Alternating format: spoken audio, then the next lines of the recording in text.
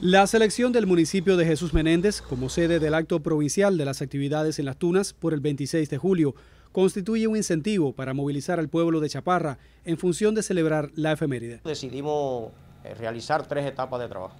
Una etapa primera que empezaba desde hasta el día 5, desarrollar un grupo de labores en la higienización, chapea, limpia, comenzar un grupo de obra en el territorio y bueno, después la otra etapa sería a partir del día 6, que ya estamos en esta etapa ahora, donde estamos ya dando, limpiando, estamos pintando las instituciones, estamos desarrollando la recogida de desechos sólidos en el territorio y bueno, impulsando un grupo de tareas en el orden productivo, económico en el municipio, para nosotros realmente llegar a ese día con todas las actividades eh, y tareas cumplidas. El fortalecimiento de las filas del partido y el funcionamiento de las organizaciones políticas y de masas constituye uno de los pilares de este norteño territorio.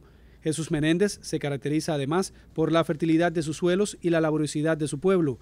De ahí que la producción de alimentos sea otra de las fortalezas en ese territorio. Realmente eh, debemos llegar a mil hectáreas en el polo viandero aquí del norte, ya que ahí tenemos la posibilidad de tener agua de la presa Juan Say y eh, se está trabajando intensamente. Hemos realizado trabajos voluntarios con la participación de nuestro pueblo, los fines de semana también, y ya estamos en los días de semana cambiando de labor también con los diferentes organismos.